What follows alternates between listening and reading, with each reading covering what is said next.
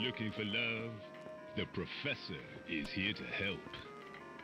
Does this twosome have what it takes?